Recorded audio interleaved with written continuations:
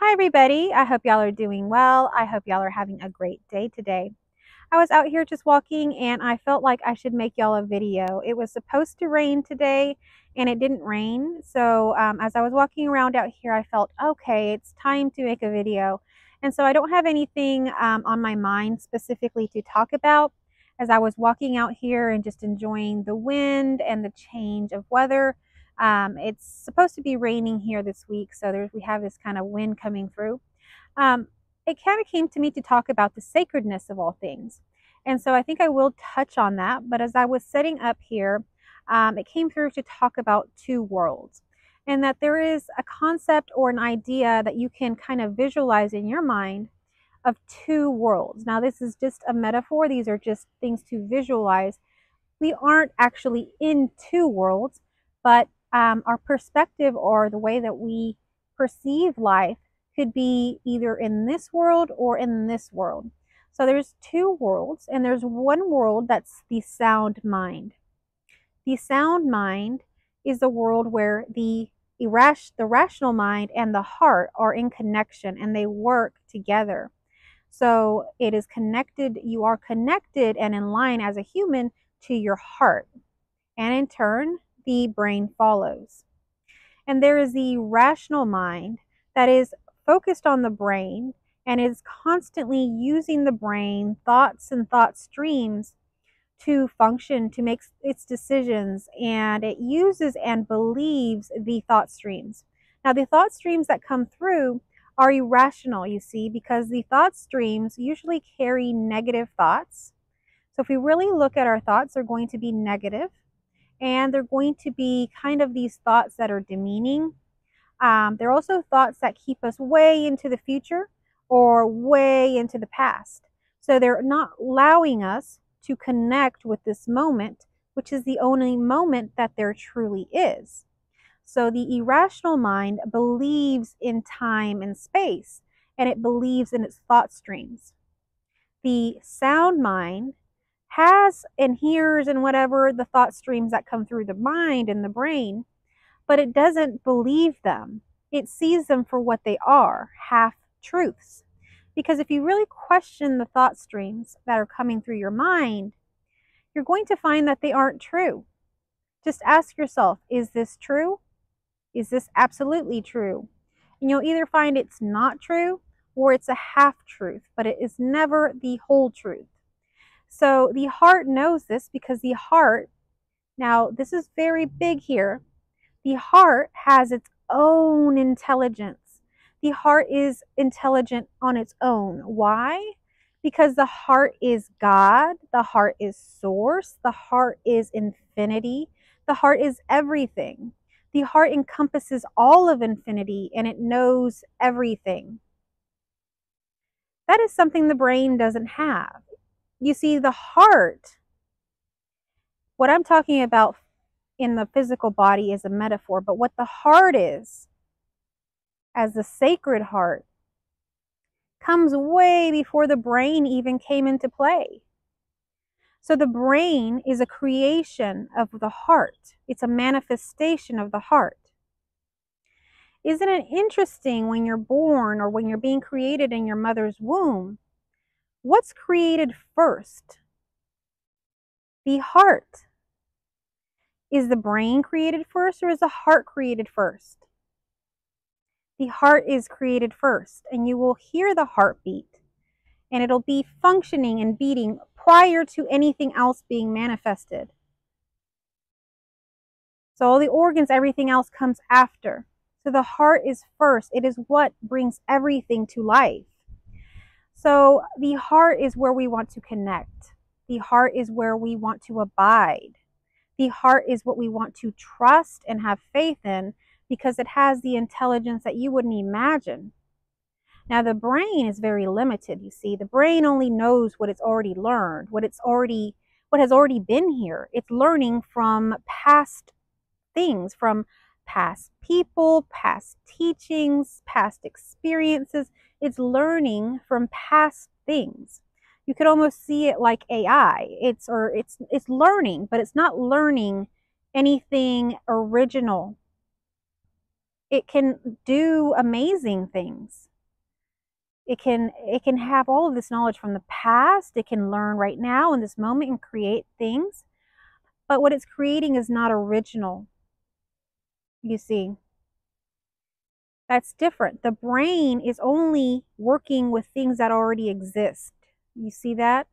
And the heart is working with the intelligence of the heart. The intelligence of the heart holds infinity. And then any which way you want to go on top of that and the changes and the manifestations that come from that. So it is a grander, more absolute, more truthful center to abide in if you're, you know, experiencing yourself. Are you going to believe the uh, thoughts that come through the brain? that are coming through and saying that you're unworthy, that you can't do it, that you're scared, that something's going to happen, that you're small, that you don't have this, you don't have that, you're not good enough. Are you going to believe those lies that are the thought stream? Or are you going to believe your heart, which says simply, go have fun and try this, play this, do that. You're held, you're loved, everything is good. Are you going to believe that? Now, it doesn't always tell you that you're good, that you're held, that everything's good, but as you go along the path, you clearly see that because it shows you that in what your path becomes. Or what happens when we follow the brain and its kooky little plans and stuff like that?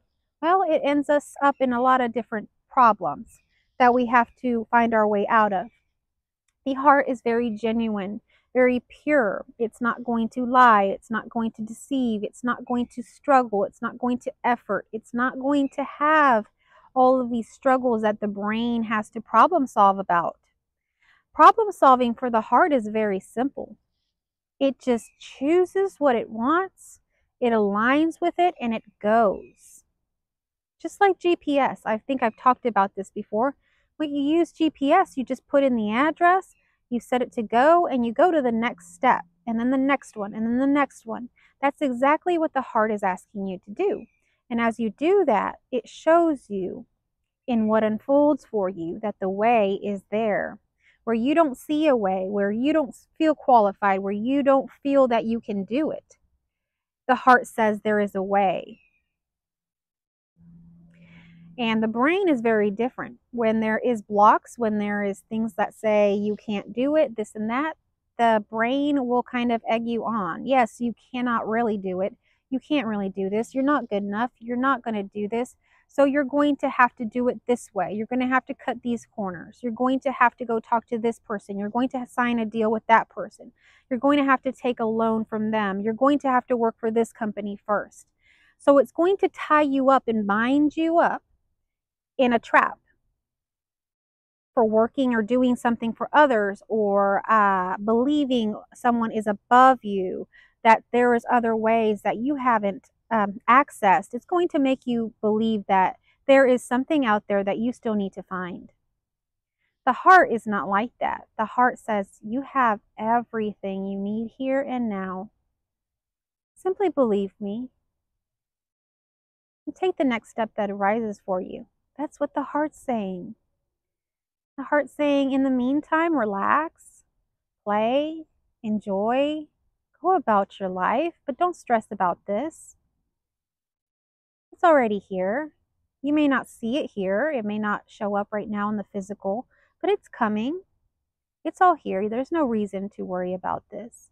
And it also lets you know if for some reason this doesn't show up, don't worry. You're going to see that this whole process was what you really wanted. So it is always supporting you. It's not tricking you. It's not making you work. It's not making you stay up at night. It's not making you uh, stressed, anxious, all of these things that the brain does. The brain makes you believe that you're alone, that there is nothing or anything that can help you, that you need to find a way, that this is hard, that you have to do this. The heart says, Get out of the way. I got this. Can you align with that? Can you let go for once and get into your heart and trust it? Trust it. You've trust, trusted your brain this whole time. and it's made you stumble, fall, do weird things, and this and that and the other. Hey, can we give it a little break? Can we give the heart a try? If you're ready to align with your heart, it's simple. We don't need to study a bunch of books. We don't need to meditate a bunch of hours. We don't need to even take a bunch of courses. All we have to do is simply want that for ourselves. So, who's got the power here? You do. So, right now, align with your heart and decide to start choosing your heart in all situations and all choices you make. If that's too much, start with, with one decision, then the next, and the other, just like GPS does. I mean, that's all we really need to do. That's all you have to do. Believe in yourself, love yourself, have faith in yourself. This is about you. It's not about anybody else. There isn't a group guru outside of you that's going to teach you something. There isn't a course outside of you that's going to teach you something that you don't know. There isn't anything outside of you that is going to give you permission or allow you to do this but yourself. So allow yourself now. Allow yourself to be all of you, to know all of you, to feel all of your emotions, to know everything about you and love it to extend that love to others. Access that part of you. That is your true nature. It's always been there. It's always been there. As you're watching this video now, it's not a coincidence. You're here now because this is right where you need to be. You know what I'm talking about. So drop it now drop the silly story that you're just this little individual self here on this huge, beautiful, perfect planet. Drop the idea that this is just all some weird little thing that happened out of nowhere. No. This is infinity. This is perfection. This is you. This is creation. This is everything and nothing the emptiness and the fullness,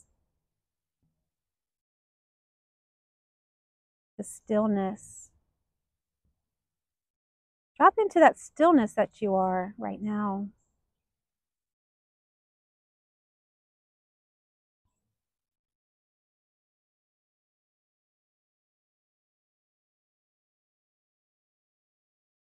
That's it.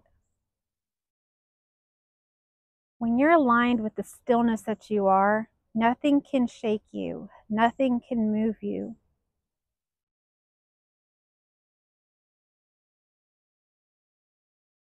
The physical appearances, the illusion, this wood, let's say there came a dinosaur right in front of me, it's an illusion.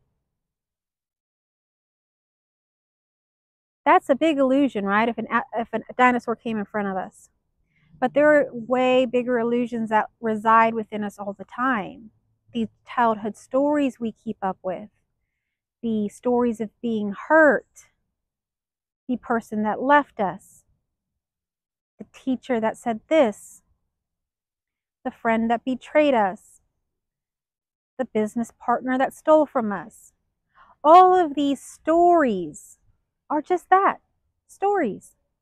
They're just stories and you're just a character in this moment.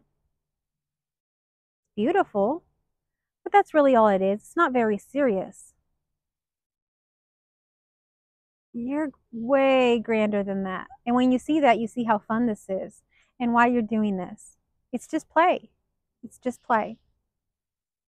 Don't be scared by the illusion. Everything that's happening, all of the opposites, the polarities that's happening in the world around us right now, it isn't what you think it is. This is perfection. Everything is working with each other, just like the parts of you that are sometimes in conflict within you are bubbling up and then releasing things and doing things. So is the world. So is everything around us. How can we experience hate? How does that even happen? Well, we had to have experienced love and then lost it. Well, had to experience love and then been betrayed, had to experience love and then been abused, had to experience love and then been hurt. That's how we have everything we have here in this infinity. Because the polarity, the opposites, the so called separation we so called say it is, is not separation. It's a facet, it's a, it's a function of the appearance of fullness.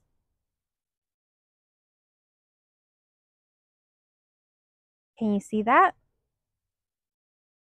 Can you see how every piece of you is working together to create the experience and person you currently are? It's just a function of the ever changing infinity we are. Every moment is different and new. So, for it to be that, it has to evolve in this way. It has to trigger itself. It has to move itself. It has to agitate itself. That's how it works. Whether we like it or not, it's just how it works. And when you see how it works and when you really uh, come to terms with that, it's actually quite beautiful, quite amazing. And it allows you to really drop the judgment you hold for yourself and everything around you. And that's not something you have to realize in an awakening. You can do that now. You can just try it whether or not you believe that you can or can't, just try it. Experience it for yourself. Stop judging people. Stop judging yourself and see what happens. You may not stop it all in once. You may not stop it, you know, immediately. You may judge a little bit here and there, but, uh, you know, the less you do it, the more that you see that you become more relaxed and you become more loving and you see more clearly. And all of a sudden, you see the connection and everything. I was watching a show the other day. It was just a silly show uh, called The Righteous Gemstones uh, on HBO, and it's kind of like a really, really silly song uh, show. Anyhow, there is a character eh, towards the end there that he, I guess, had some kind of militia thing or some kind of group he was running. Anyhow, he used to really be a strong Christian and have a church and all of these things. And so he split from his family. And at, towards the end of the show, his family kind of reunites with him. And he's doing really crazy things, about to really cause some damage with some people. And so I don't know, at some point, his wife comes in and has a heart to heart with him and says, how is it that how can you do all this how can you do all this what do you think that jesus thinks of this because he you know, was a pastor of a church prior to all that. And he, he said, I don't even know who Jesus is anymore. Because what happens is we can become so disconnected uh, because we've gone so far up in the brain and believing the negative thought streams that come through. We can believe so much of that negativity to be true that we completely forget and completely just, it seems like it leaves our mind that there is any connection, that there is anything like God, that there is love, that there is connection or unity. It's like it leaves our brain. So in the show, you can kind of see it was like a insight for him. He said, I don't even know who Jesus is anymore. Like he realized that it, it had left him.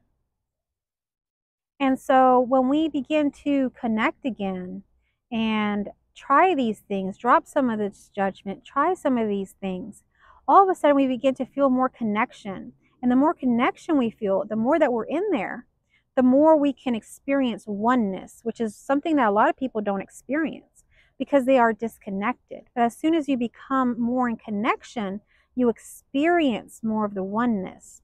Just like the character in that show, because he believed so much of his thought streams about negative things that were happening, he became totally disconnected from even the thought that there could be a God, that there could be a higher power, that there was anything else to live for. He had completely disconnected himself so much from really himself when he's talking about he doesn't even know who Jesus is anymore. That's really saying, I don't even know who I am anymore. I don't know what my heart wants anymore. I don't feel my heart. I don't know it. I'm so disconnected from it. So if you're finding yourself in a space like this, uh, this is where we look at those two worlds that we were talking about in the beginning the two worlds. Which world do we really want to live in? It is truly a choice. Do we want to live and reside in the world of the irrational mind? The mind that believes that it's unworthy, believes that it can't do anything, believes that it can't keep or have anything, believes that life is hard, believes that it's not worthwhile, that there's nothing good here, that everything's messed up, that everything's changing and turning into things that we don't want, and the world is horrible. Do you want to live in the world of irrational, or do you want to live in the world of the sound mind?